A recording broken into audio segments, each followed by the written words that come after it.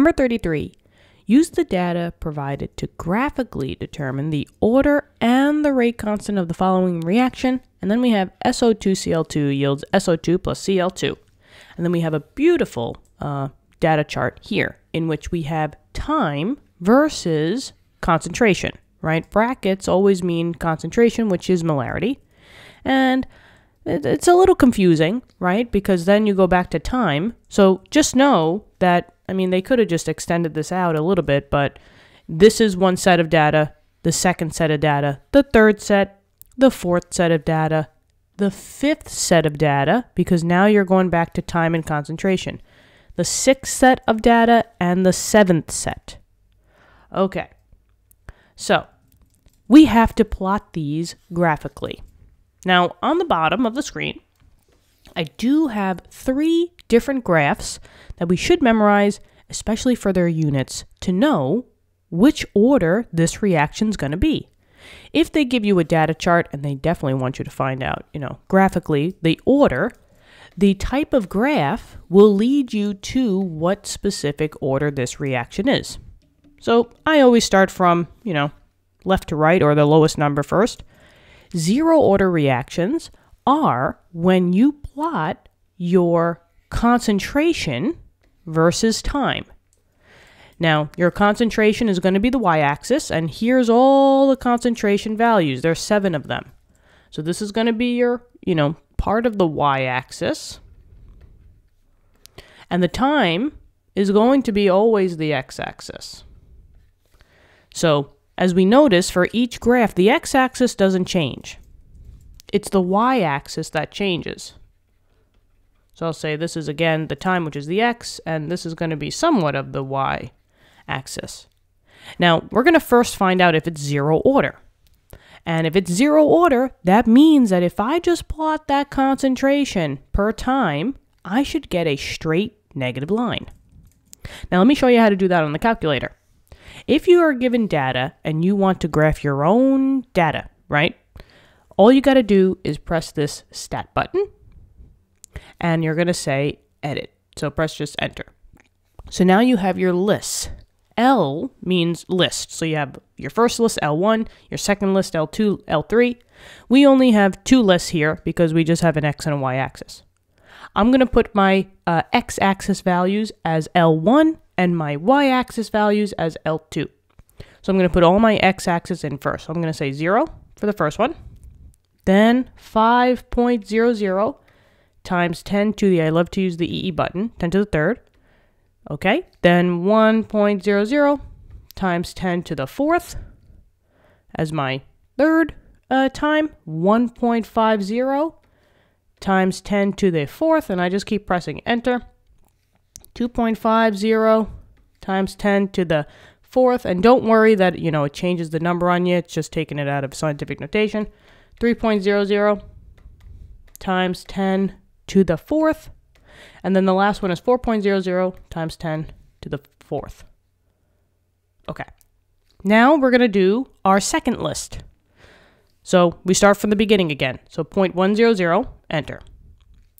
0.0896, enter. 0.0802, enter. 0.0719, enter. 0.0577, enter. And then 0.0517, enter. And then 0.0415, enter. Okay, we have all of our values in, and we have our y-axis as L2, and we have the x-axis as L1. So maybe I'll just put that down here. So this is L1, and then this is L2. So now, in order to plot this, you're not going to go to y equals because y equals is if you had the formula. We have no idea what this formula is, so we have to go to second y equals. That's stat plot. And we're going to turn this plot on. And they already said that it's, you know, L1 and L2, so I'm just going to say enter.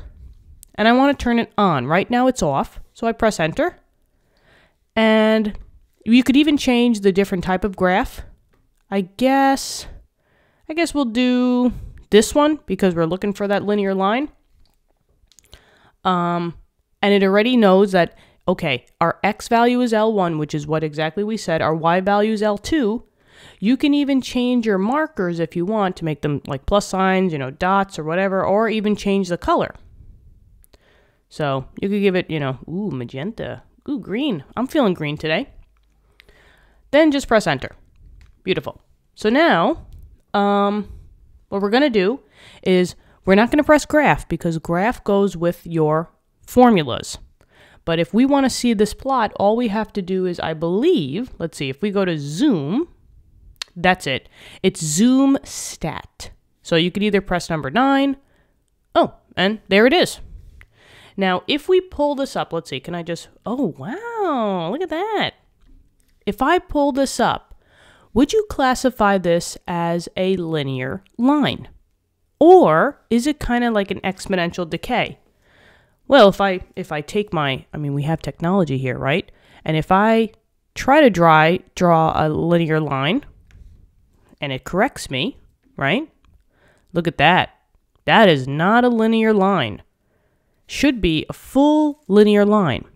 So, since it is not linear and it's kind of tailing off, we can already automatically say that this um, graph or this data is not zero order. So, just to make things easier for us, goodbye. We're now down to two. So basically what we have to do is we just have to go back and just tweak the y-axis a little bit. So what we're going to do is we just have to put the natural log in front of your um, concentration values and see if that forms a linear line. So we're going to go back to our stat. So we're going to press stat, edit. The x values don't change, but all you're doing is you're just changing the y values. Probably the easiest thing to do is to um, just write them out again. But now you're just making all your values as ln. So here's the ln button over here. I'm just going to say ln of 0.100. You could close the parentheses if you want to. Press enter. And it does the ln for you. So that's why I love using the TI-84 is you just have to plug in the function and it will do the calculation for you. So now the next one would be ln of 0.0896. Close parentheses, let it do the math for you. Beautiful. Next one, ln of 0.0802. Right? That looks good to me. Next one, ln of 0.0719. Are we having fun? Oh, yeah. Okay. Uh, ln 0.0577. Close it up. ln of 0.0517. Close it up. ln of 0.0415. Close it up. Press enter. Okay. Now let's look at that graph. Um, we already did all our controls for stat plot. It's still on. If you want to change the color, that's fine with me. Uh, but all we have to do is basically go to zoom and press number 9.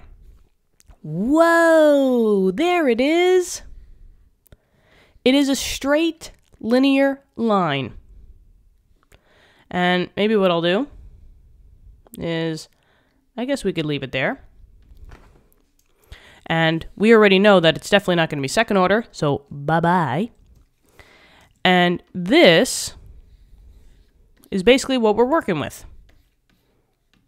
Oh, I guess I'll I guess we'll just keep it like that. But basically, it's the same exact idea. If you have a linear line, which is exactly what we have, we know now that it's a first order reaction. So determine the order, it's first order.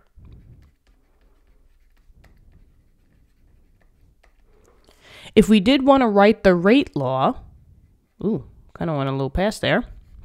If we do want to write the rate law, it would be rate equals K times the concentration of, in this case I put A, but it's just for your reactant.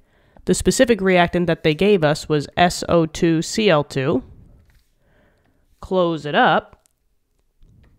And you could put it to the first, but anything to the first is the same, so you could get rid of that.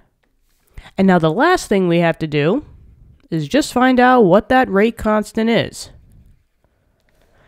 Now, whenever you're dealing with first order reactions, that constant, right, that slope is actually the rate constant. However, rate constants should always be positive. If you have a negative slope, which is just what these are going to show you, every time you have a first order reaction, it's going to be a negative slope. Just know that your slope equals negative k. So the negative is just saying that it's a negative slope, but your actual k value should be positive. So now it looks like, I mean, it's a clear negative value, and, and not clear negative value. What I meant was all of these points are clearly on the linear line. If you're taking a slope, you just have to take two points. But it doesn't matter to me what two points you have because it makes the linear line. Now keep in mind that what's the slope formula? The slope formula is y1 minus y2, or I guess we'll say y2 minus y1 divided by x2 minus x1.